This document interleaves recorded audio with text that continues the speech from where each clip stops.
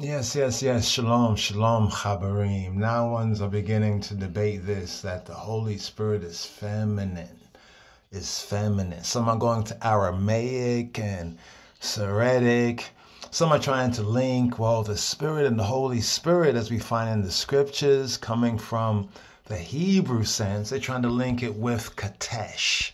You might know who Katesh is. Katesh was a Canaanite god, goddess, should I say right? This is uh, her Canaanite form, right? That was incorporated coming from the east. Now, we spoke about how from the east, speaking about like Mesopotamia and Sumer, enough influence basically came down into Egypt. But they're trying to say that the Holy Spirit is linked with because it's, it's, it's Kadosh, right? We have Kadosh, we have Kodesh, but someone wanted to tell you well, actually feminine, feminine, right?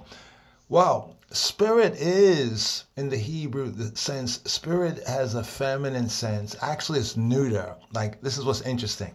When we look at the languages that were written on the cross, right? The languages of the witness, right? What languages were written there?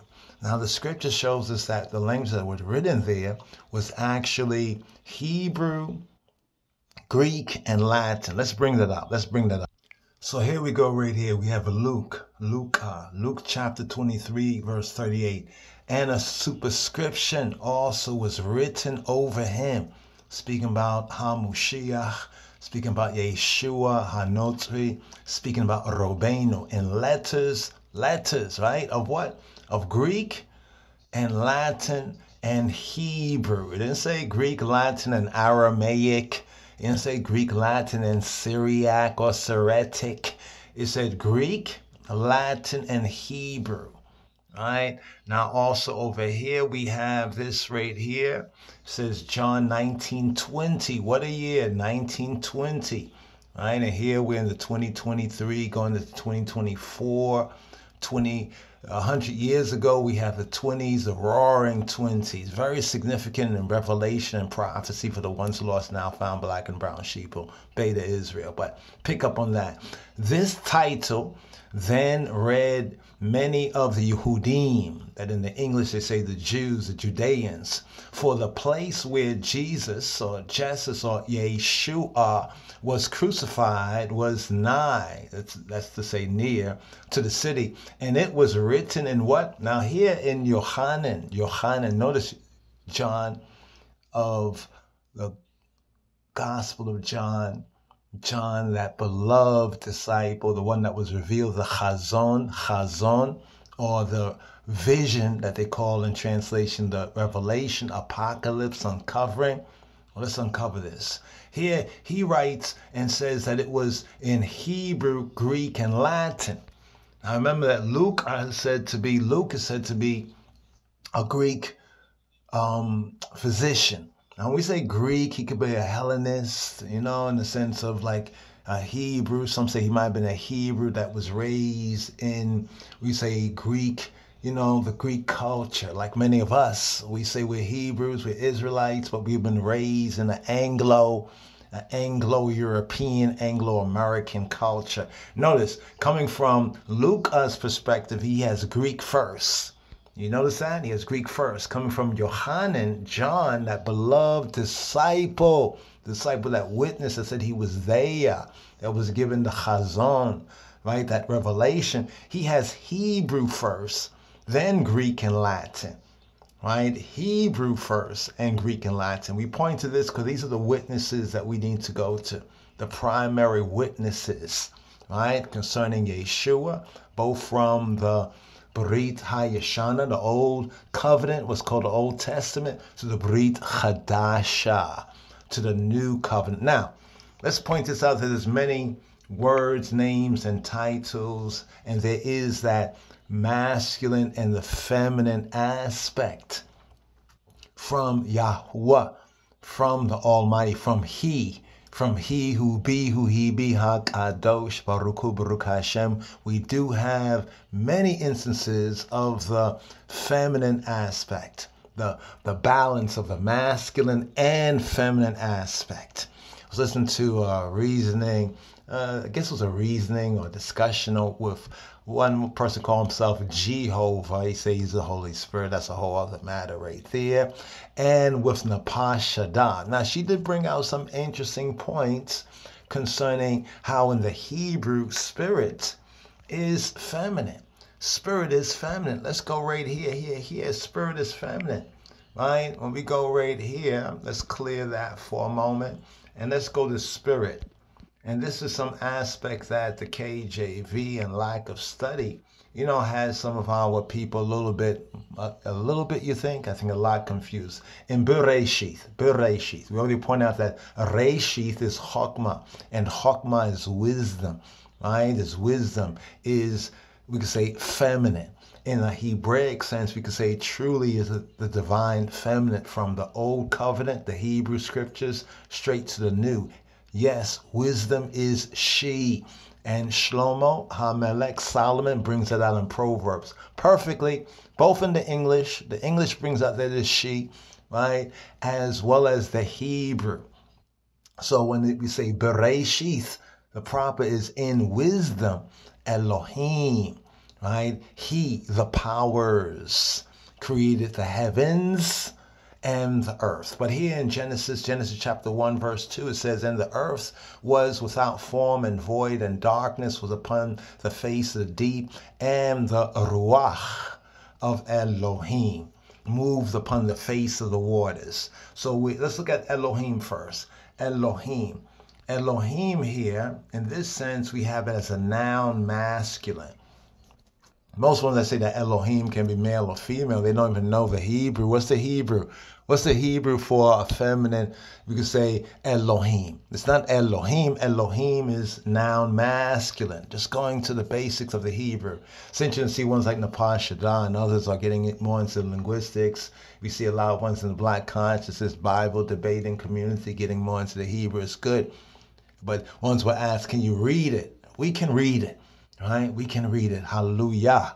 But here, here, here, it's a noun masculine. Just highlight that right there so you can see it's a noun masculine. It's not saying the gods and goddesses, no, because Bereshith, in Chokmah, in wisdom, he, the powers, Elohim powers, created the heavens and the earth. But here, in the very next verse, it says, and the spirit. Now, spirit is Ruach, the H7309. Now, Ruach wind, breath, mind, spirit, right? Let's go down here. Let's go down here. Here's some of the aspects. You can study that to see how it appears in the scripture. Here we have the spirit of Elohim, right? It says the third person is giving a description of spirit as spirit is found. Now, some confuse the fact that it has spirit, seven spirits, and Holy Spirit. Spirit and Holy Spirit is distinct. Spirit may be and is, according to linguistics, feminine, but Holy Spirit, right, as it appears in the scriptures, is masculine. Because holy, unlike when Napashada says she was like Kadah, the Kadash, and then she was linking that with Katesh, Katesh from ancient Egypt. or, Well, actually, from ancient Canaan, Canaan, the Canaanites. This is what the Canaanites were doing. Now we can understand what and why Yahweh was so wrathful, right, on the Canaanites and why he said, don't do after what the Canaanites did. It's what some are bringing in in their pseudo um, intellectualism, but it's a good reasoning, ain't it? Spirit of God, right? Just where spirit, ruach, it didn't say the Holy Spirit of God. It says the Spirit, Ruach. Here we have the third person, right, of the triune God, the Holy Spirit, said to be co-equal, co-eternal with the Father and Son. Let's scroll down here. Now notice right here, spirit is defined, spirit, wind, breath. Spirit is defined as feminine. That's correct. So spirit is feminine, but Holy Spirit is masculine. Some I'm not going to understand this at first. We're going to have to go through some examples here. So when it says Spirit of God moved, let's go to the Hebrew right here. All right? Let's go to the Hebrew. People want to up it. They said up the game, so to speak. This is no game. This is serious. Right? Because it says blasphemy of the Holy Spirit would not be forgiven. Hmm.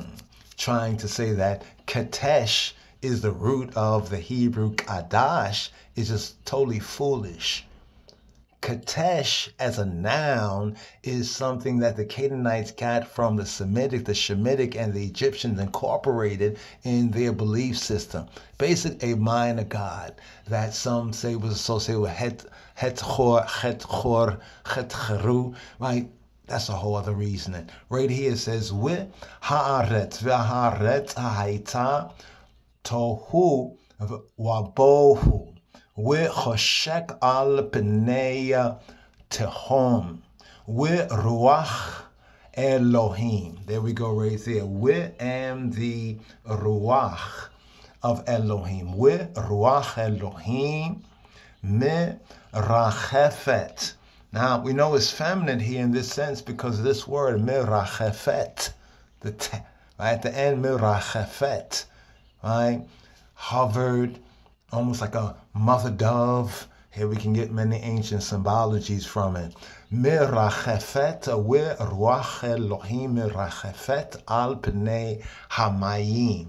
Let's go down here to the mirachefet. Here's the mirachefet from rachaf. Mirachefet from the root word. See, most of them they go to these sources, but I don't know how to really read the sources because here we have a verb.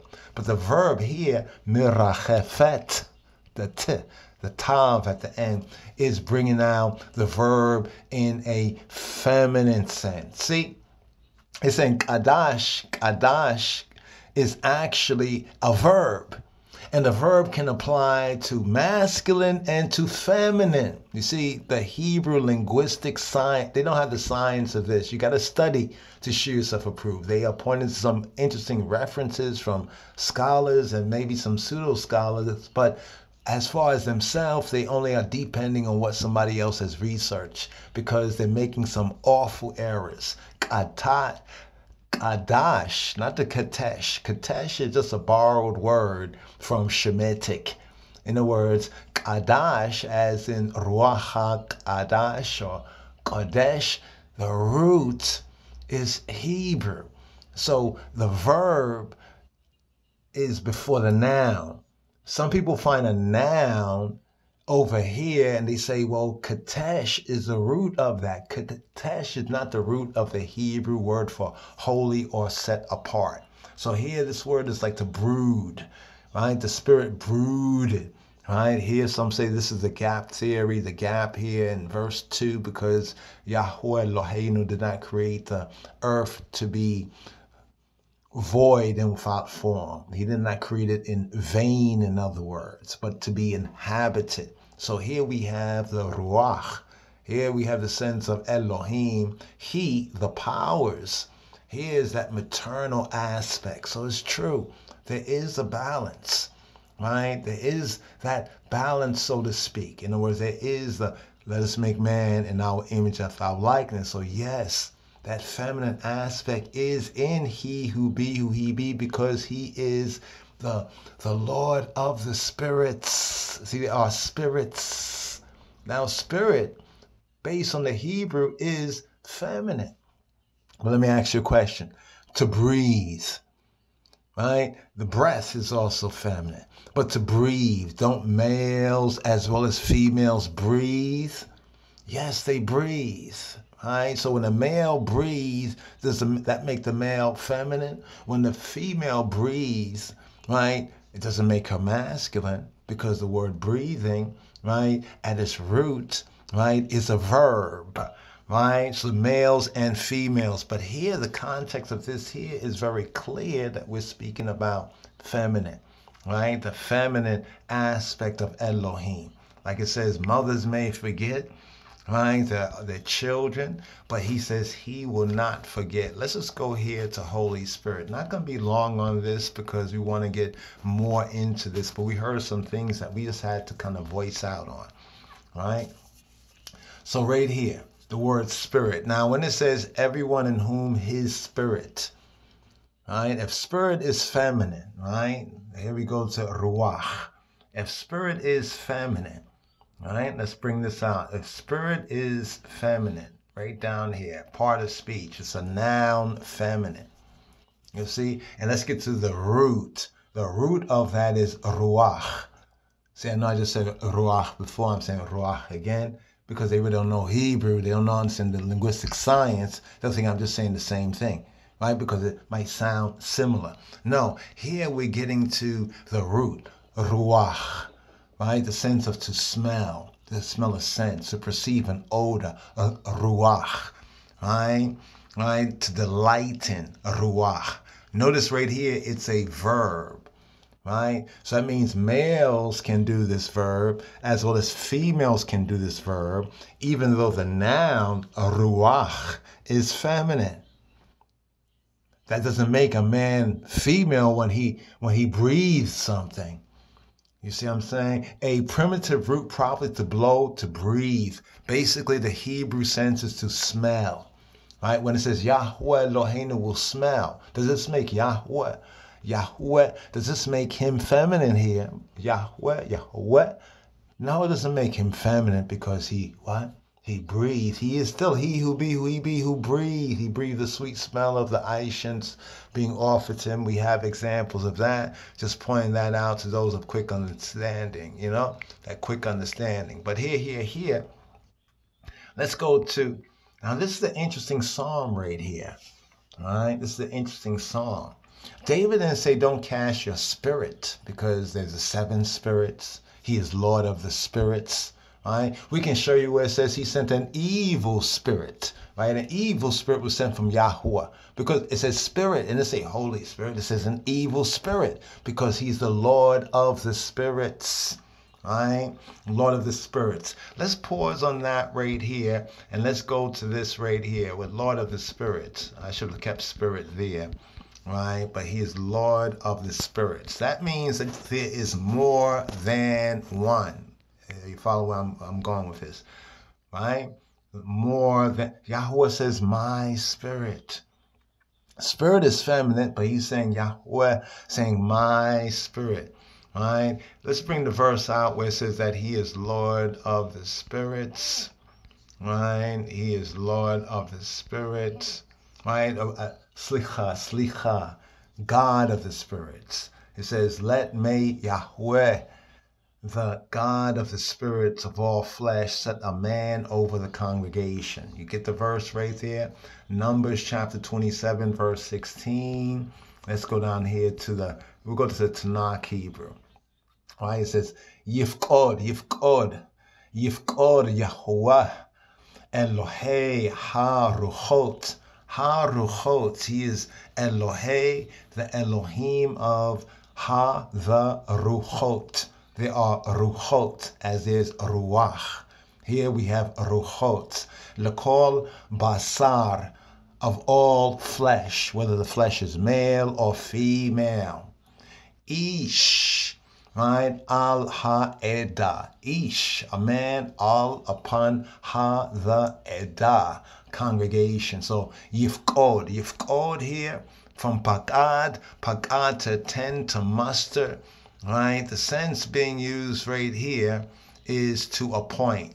In this sense of the word right here, to set the hefil, we have to set over, to make overseers, bringing out that sense, to set over the congregation right? Set over the charge. Yifkod Yahweh, Elohei HaRuchot. So he is saying that he is Elohei, right? Of the Ruchot. Of the what? Of the spirits. Right? Plural. Spirits, Ruchot. Of all flesh, kol basar. Of all flesh, whether the flesh is male or female. So there's more than one kind of spirit. Check. There's more than one kind of spirit. They want to confuse you. They want to read a verse that says Holy Spirit and then read a verse over here that says Spirit. Then they want to tell you that Holy Kadash is feminine because they worship Katesh or they're all into Egypt and talk about Katesh and say, well, Katesh is, is, is a goddess. So, so holy comes from the goddess. And then they want to imply that Holy Spirit, therefore, is referring to some goddess of the people that Yahweh commanded his people not to follow behind. What sense make that make sense? This is what David said in Psalm 51 11 Cast me not away from that presence and take not thy Holy Spirit from me. It's very interesting because here is where David proves that he's a man after Yahweh's own heart. How many times do you find Holy Spirit? And it's interesting because even in the Hebrew brings out more the force of the sense. Didn't say Kadasha.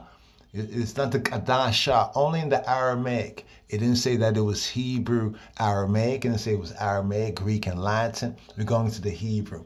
Al tashlecheni mil milfaneka.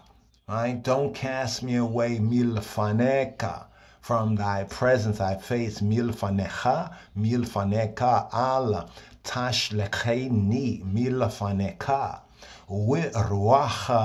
adsheka. The what?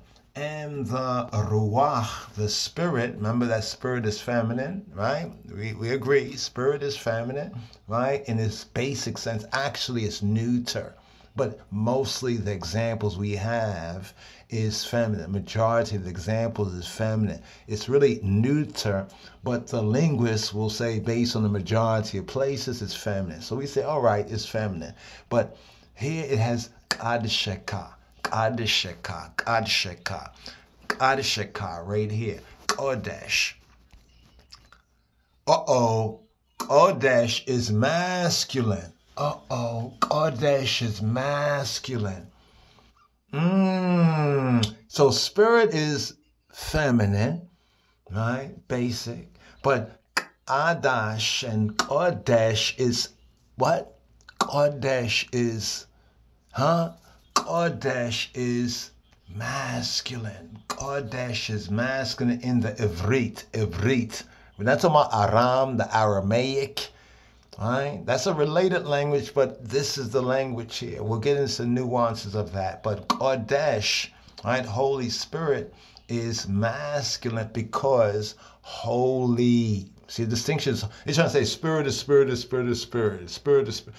The scriptures show that there are the, the sevenfold spirit, right? The sevenfold spirit, sevenfold spirit. So there's seven kinds of spirits, spirits of all flesh in a general sense, yes?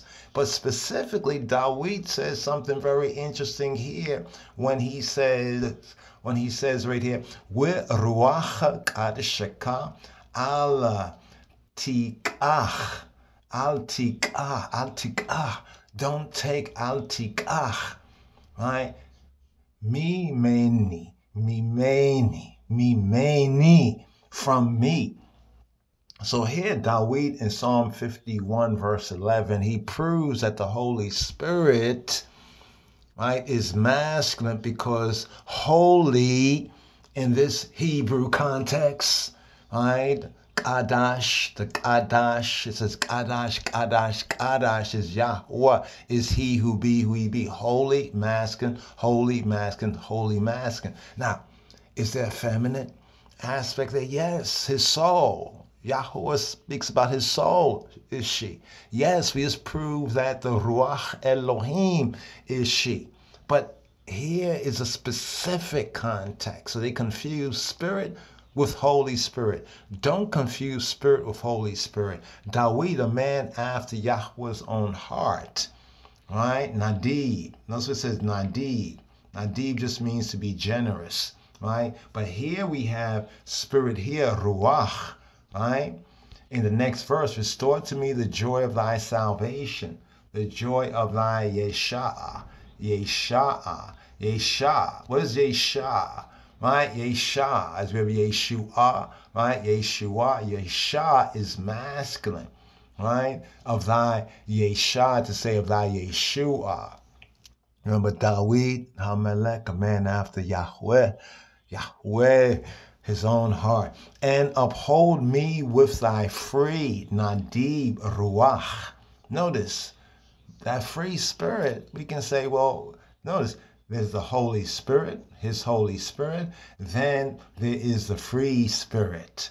The with thy is not there in the Hebrew. Just want to point this out to the brothers and sisters that the with thy Let's go back over here quickly right here. With thy is not right in the Hebrew. Let's go to this verse right here. Let's bring out this verse quickly right here, brothers and sisters, sisters and brothers, right here. Let's go down to Tanakh. Right, we have right here Ha Shiba, Ha Shiva, Ha Shiba, return Lee. Right, what we have restore, return. Right, from the shoe to turn back, restore. Ha Lee.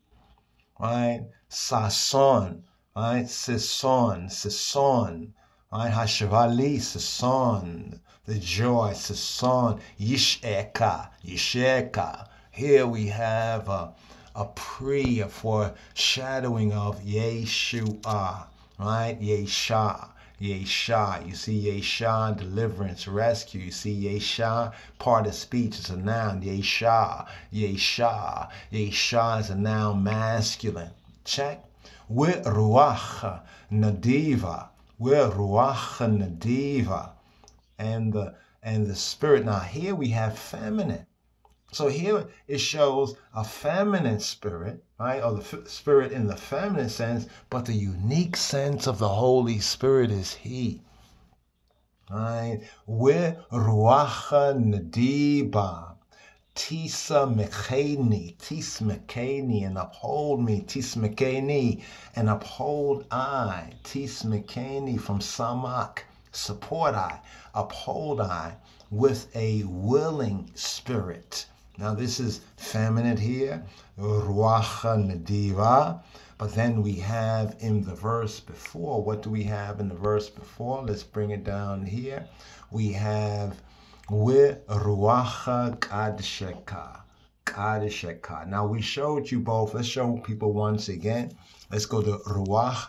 Ruach as a basic noun, right? Ruach and all the forms this word spirit applies in the Hebrew is a noun feminine.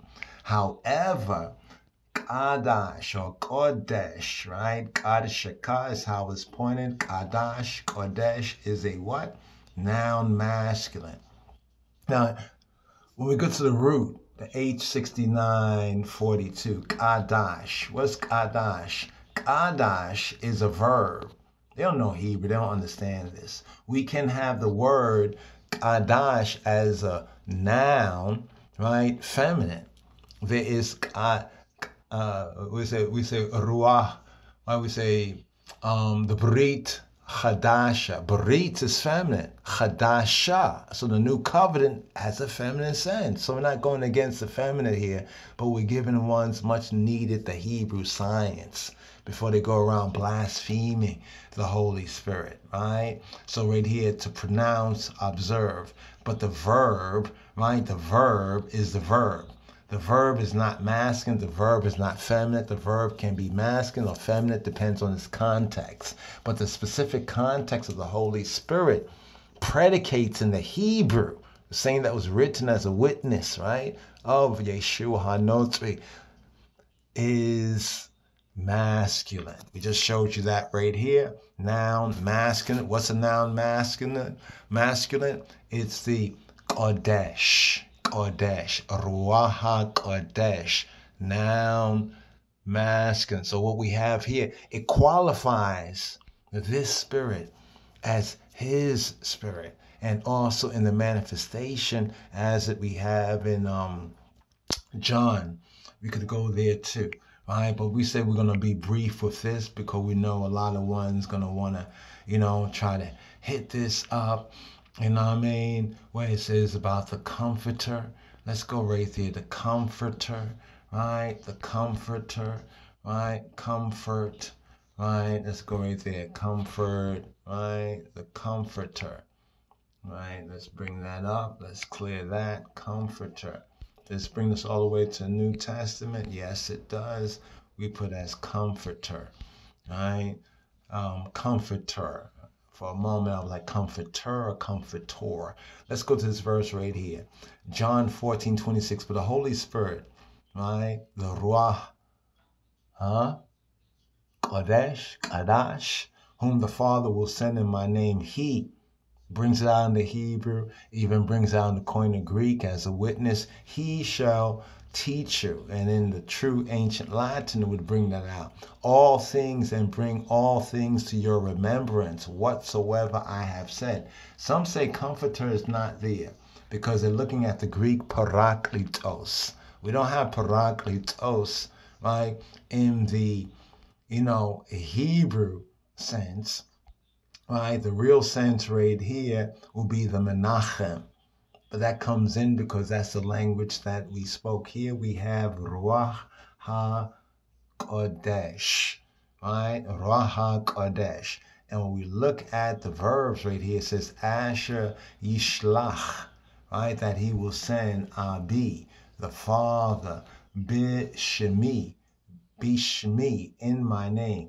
You see right there, it says who, he, right? And the verb, right? Ye lamed dekem, and he will yelamed dekem. He will teach you at the call, right? Where yaz yazkir and cause like you to remember. Here, this verb here is masculine too. So it tells us that the comforter in the Greek parakletos, the menachem, the comforter is the ruach kadosh Rakadash. And notice the link with David, how David says this as well. Notice the fact that they want to tell you that holy is feminine in Hebrew. No, no, no, no. There's a way to say something that is feminine is holy, like the new covenant, right? The Brit Hadasha. But it doesn't say Hadasha. It says very clearly Kodesh, not Kodesha, not Kadasha, but Ruach Kodesh. So, picking up right here where we started out, because there's more to say about this, right? This is not true. It is true that spirit is feminine, but the Holy Spirit, Hebraically, is masculine. That's the truth, Ruth.